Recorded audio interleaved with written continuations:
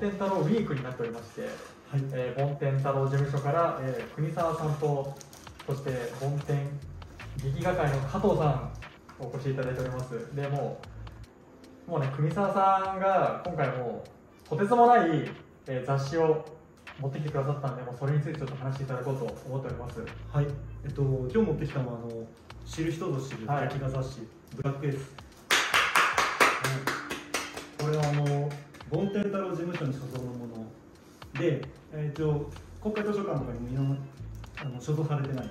想像されてないんですはい。なんでえっ、と実際梵天太郎事務所に今ちょっと急いで持ってきてもらったのがえっとこのおでも結構あるっすよ7冊。まあ7冊。全全10冊なんで。あはい。じゃあ10分の7がここにある。はい。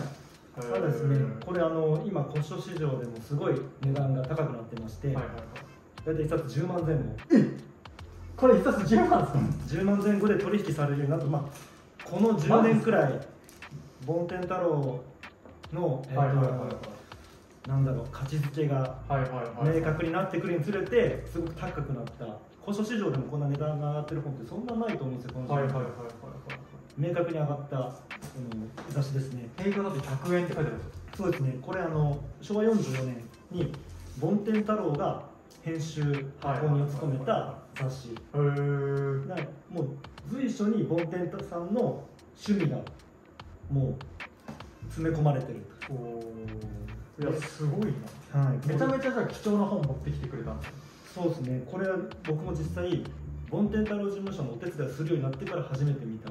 あ白物なんですね。そうなんです。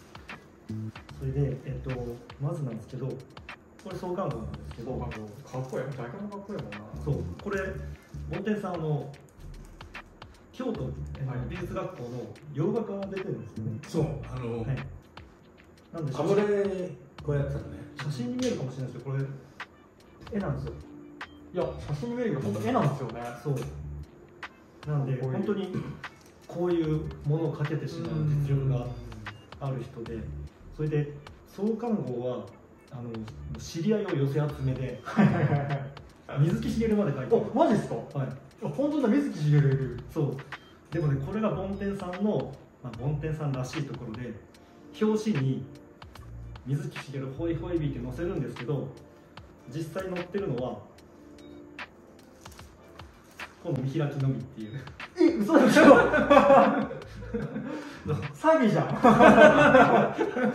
れは本当梵天さんらしくて俺らはもうここにグッとくるんですけどしかもあのおそらくあの書いてるのは水木先生のアシスタントの 橋本庄司さんっていう梵天さん一番仲がいい橋本さんが書いてるんですでしょうねでも橋本さん自体ははいはい。あの結構水木さんのあの妖怪画の中でも有名なものガシャ袋とか。はいはいはいそのクラス手がけてる人なんであのまあ嘘ではないんですけどうん、まあ、ここに持ってくるあたりがいいやそうっすいやらしい。もうこれ見た人は水木しげるの漫画が入ってるとか。そ うそうなんですよ。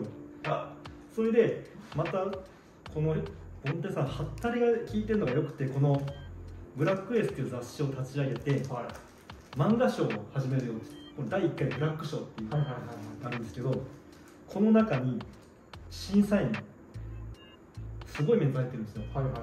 誰ですか？気になる梅津和夫。おおすげえ。白戸三平。おおで水木しげる。おでまあ自分なんですけどおそらく多分ボンテさん一人で決めるはずです すごい選考委員が揃ってますよって言いたいだけで。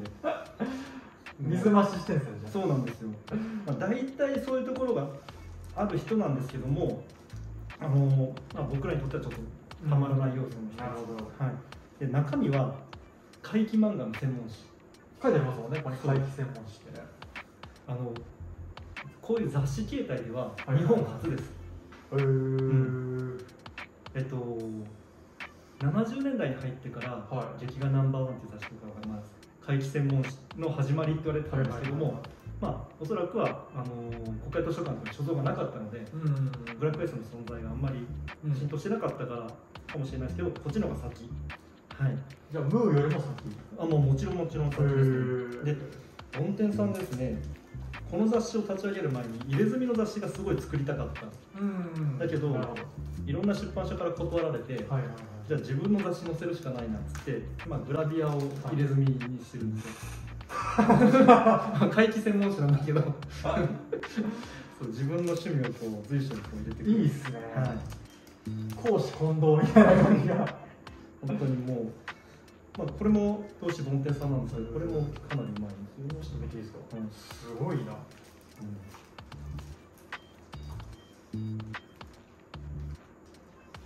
えこれもだって一番最初あ水木しげるそうですよ。これも。はいあこれ結構でもこれはね違うんだあのなんていうんですかね。少年マガジンとかそういう雑誌であった関東の妖怪特集とかを真似したような企画なんです。でも結構あのなんていうんでしょう貸本漫画っていう、えっ、とね今で言うとなんだろうな、うん、と書店では流通しないレンタル専門の漫画っていうのが昔あったうんですよね今ちょっと前だと V シネマとか。うん。うん。まあもしちょっとあれかもしれないけど今で言ったらネットフリックスの配信限定だけど、はいはいはいはいはい。ちょっとそういうあの一般の流通とは違うところでやってた漫画ではあるんですけど、まあそこからあのあのすげえ有名な漫画家さんいっぱい出てるんで、うん。まあ、白戸三平水木しげるとかも絶対そうなんで、はいはいはいまあ、そういうところの知り合いをとにかくもう寄せ集めて作った雑誌がこのブラックエース、はい、なのでそういった作家の価値がこう高まってきた今は、はいはい。あのまあ、市場に出ることも少ないんですけども本当出たら1冊あたり10万を超えてくるような号が出てる梵天さんが、まあ、10号で結局潰れちゃったんですけども、一応日本初のあの怪奇雑誌であり入れ墨をグラビアに持っていったっていうはいはい。はいこう出版界に一石を投じた、すごいまあ、あのなかなか世に出ることはないですけども本当一回か映像に残しておこうかいやありがとうございます。いやこれめちゃめちゃ貴重だし素晴らしいもう数がすごいですよ。これさ売っちゃダメですよ。売っちゃ。もうこれは最後最後させて70万。70万ですよこれ。だってあの三島由紀夫さんって作家さんがいましたよね。亡くなったけれども。あの人とねあのスポーツジムでボンドンさん一緒だったのよ。それでボンドンさんがやるとねもういい本を出しますね。って絶対続けてくださいよって言われたんだって。三島由紀夫ですか？ところが10冊で終わっちゃってるああもしかしたらここに三島由紀夫が載ってたかもしれないと。あそんなそんな未来もあったかもしれない。